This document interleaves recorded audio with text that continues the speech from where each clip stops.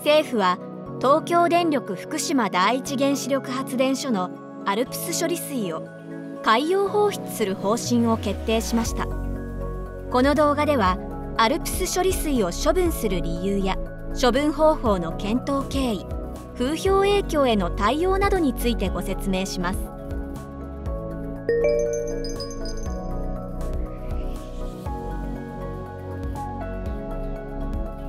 震災後福島第一原発では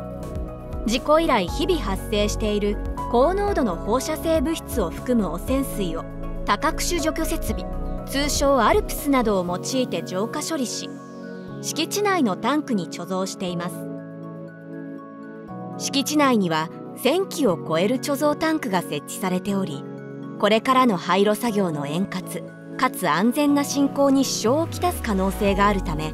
廃炉に影響を与えない形で処分を進める必要があります。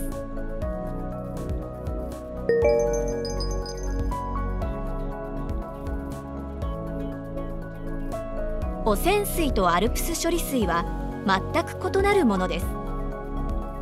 アルプスなどを使い汚染水から放射性物質の大部分を取り除いたものがアルプス処理水です。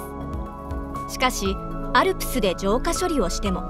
トリチウムという放射性物質は取り除くことができません。ただこのトリチウムは水素の仲間であり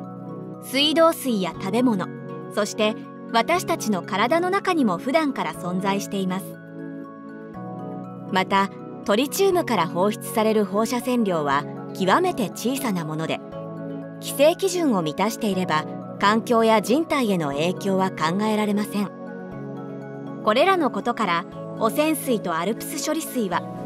安全性の面で大きく異なるものなのです。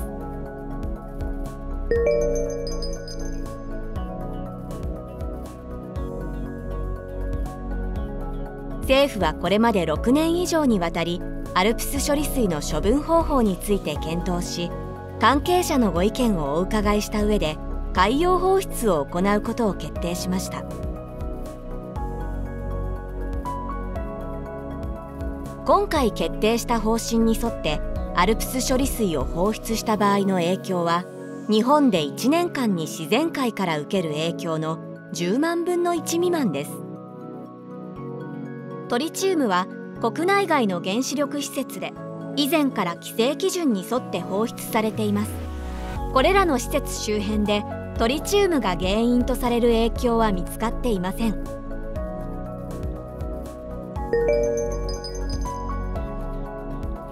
アルプス処理水の海洋放出に対しては風評影響を懸念するご意見をいただいています。